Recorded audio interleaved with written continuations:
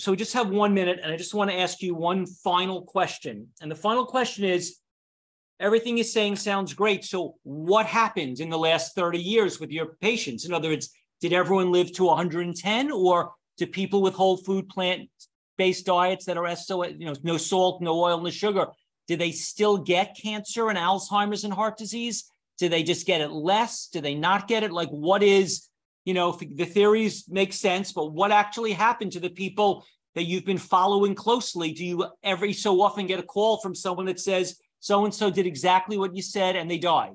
Or are you saying, like, what, what is the actual result from following what you're saying compared to the general public as best as possible? Because I know it's hard to know that, you know, to keep perfect track. I, I, my conclusions I'm coming to so far is that how long you live is largely determined by genetics and luck, but how well you live in the time you're alive is largely determined by your diet and lifestyle choices.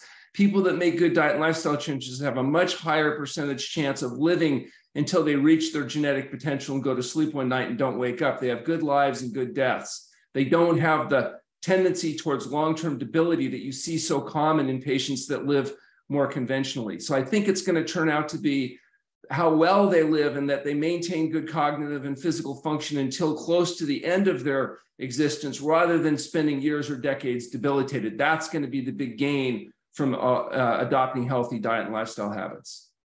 Thank you. Um, my patients, all my patients are only in their 110, so I can't tell you what's going to happen to them as they uh, as they progress. But I'm I'm following them along.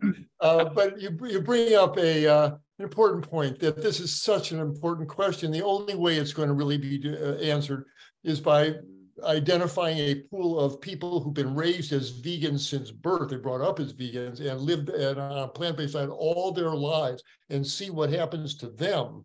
That would give you a, a, far better picture than someone who eating the standard diet till he's 55 has, has angina and then switched to a vegan diet. He's he's already uh, uh, has altered his physiology. And it's hard to uh, hard to say what uh, uh, what his ultimate fate will be but at any time you adopt a plant-based it's going to help the body it's going to uh, motivate healing forces to kick in and whatever conditions you got, it's going to be better. You may have already compromised your ultimate lifespan, but as Dr. Goldhamer says, there ought to be less sickness, less morbidity and disability along the way when you when you till you you reach your final day.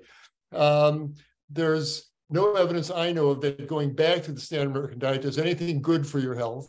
Uh, and, lo- and, lots of uh, studies showing that a plant-based diet uh, optimizes one's health. And for that reason, I think um, the case is already uh, closed. Uh, that uh, I, I, think the point's already been made. And people, uh, we like to kid ourselves as Homo sapiens, and we like to cheat on ourselves and think that nobody's looking, but your body's never not looking. And uh, and and the truth of a plant-based diet comes out as individuals. So eat plants and get on with it. I have a T-shirt made with eat plants, get on with it, enjoy your life. Thank you. And I would uh, just add um, from my own experience that that um, you know the, the, I guess the health that people enjoy is directly proportional to the changes they make and how much they stick to those changes and and Alan um, was just telling us about some of the work he's doing, seeing people who have stuck to the changes that he's taught and, and how beautifully they do. And to me, that's the most exciting news I've heard in a long time. But it, it I do, I have many, um, many clients that I've worked with that have maintained extraordinary health for years and others that fall back to old habits. And our goal is really to figure out how we can motivate people to stick to these. And my own thinking is that, you know, people care more about belonging to their tribe than they do about surviving almost on their own. So, you know, they want to belong. And so we have to do everything we can to make this more mainstream, to help people feel like they belong, to give them, to provide delicious, nutritious food, to make it easier for them to stick to this kind of diet long term. Okay. in five seconds, just tell everyone how to stay in touch with you and follow up with you. Brenda, first you.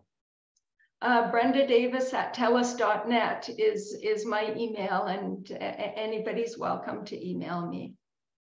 Okay, and you can go on our website, click on Brenda Davis, and that'll take you to her website and her books. BrendaDavisRD.com. RD.com. Dr. Campbell, how can we stay in touch with you?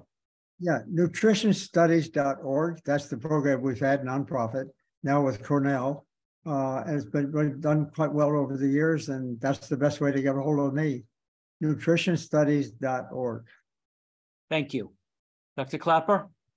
Uh, if you want nutrition information and uh, things in general to keep yourself healthy, go to doctorklaper.com. It's all spelled out, D-O-C-T-O-R-K-L-A-P-E-R.com. Uh, but if you want to uh, help us uh, reach more medical students with the plant-based message and you want to help me uh, change the course of American medicine, help us through our nonprofit Moving Medicine Forward. And that website is movingmedforward.com. So we could sure use your support, but you're going to get good things at both websites.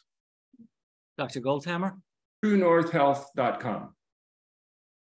So I want to let you know, I really appreciate it. It's really an honor to be able to um, have all of you. I respect you all. And so I, I'm the one who's got the microphone, but I am channeling what millions of people want to say, and they really want to say thank you.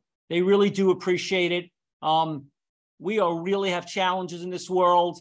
We are really getting misinformation from mainstream papers. A lot of people are trying to make money on us and are not honest. So to find smart, honest people that are on our side, we really appreciate it. Thank you very much. Can we unmute everyone? Unmute everyone. Thank you so much. You guys are great.